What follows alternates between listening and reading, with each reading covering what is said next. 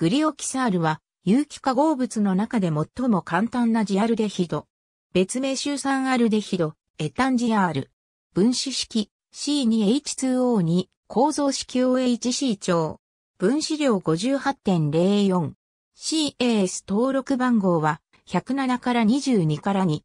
単体は黄色中状の結晶であるが40%水溶液の形で取り扱われることが多い。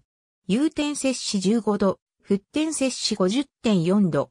グリオキサールはジアルデヒドであるため、変異原性を有する。このため、取り扱いには注意が必要だが、分解性は良好である。アセチレンをオゾンや酸素で酸化したり、同触媒存在下で空気で酸化したりして作られる。パラアルデヒドをアセレン酸で酸化して得ることもできる。グリオキサールは種々の食品中やタバコの煙中に含まれ、グルコースの自動酸化あるいは脂質の過酸化においても生成する。ヒドロキシル元を持つ高分子化合物と過強反応をするため、過強剤として樹脂や繊維その他の加工に用いられる。